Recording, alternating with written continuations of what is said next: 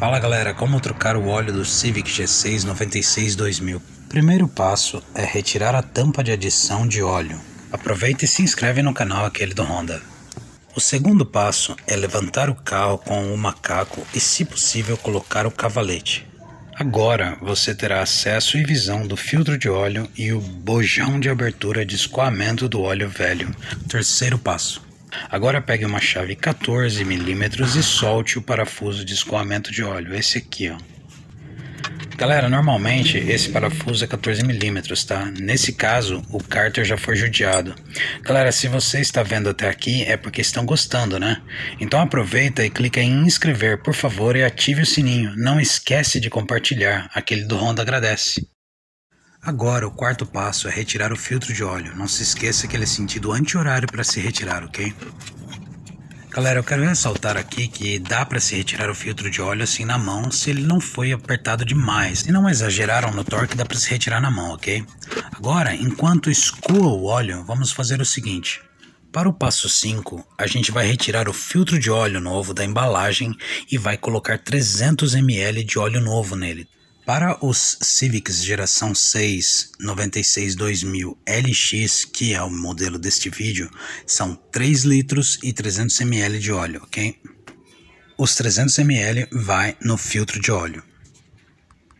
Agora aqui vai uma dica aquele do Honda para vocês. Para ficar mais fácil para a próxima vez de retirar o filtro de óleo, passe um anelzinho de óleo bem de leve assim no anel ou ring porque até a próxima troca de óleo ele estará em contato com o quente do bloco. O passo 6 agora é rosquear ele sentido horário, ok?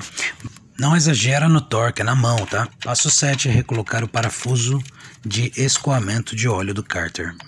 Mais uma vez, galera, não exagera no torque, é em torno de 2 kg no máximo.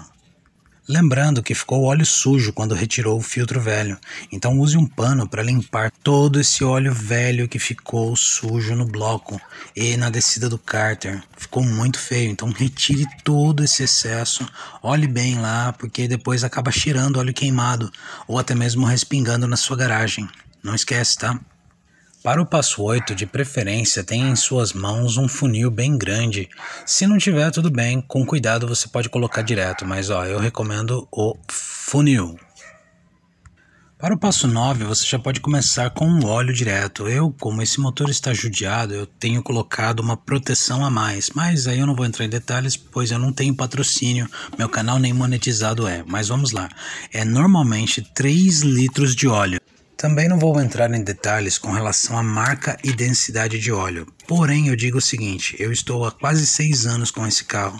Nesse período, tirando que a Honda me colocou óleo 020 sintético, mas não vou entrar em detalhes, eu apenas uso óleo 20W50 e 25W60 em tempos muito quentes.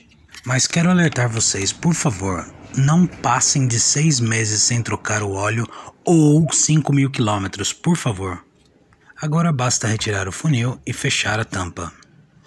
Passo agora a ligar o carro. Retira o macaco antes.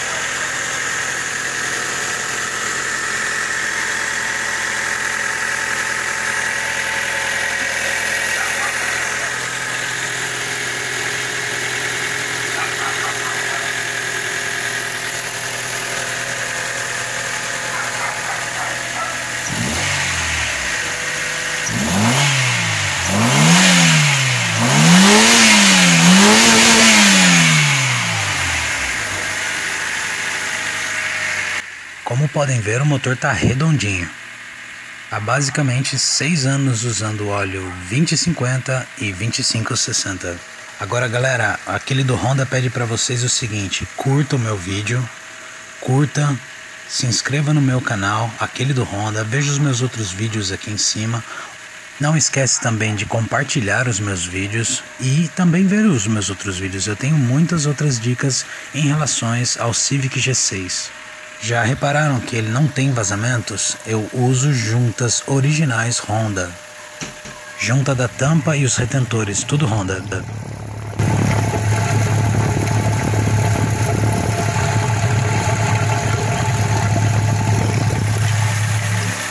Agora veja o nível de óleo. Agora pegue o recipiente aonde desceu todo o óleo velho, pegue as vasilhas aonde veio o óleo novo e as complete com o óleo velho, para você poder levar no posto de gasolina mais próximo de você e falar: olha, eu estou deixando aqui óleo velho ou algum local mais adequado para descarte, ok? Galera, gostou? Veja os meus outros vídeos. Aquele do Honda agradece você. Muito obrigado, galera.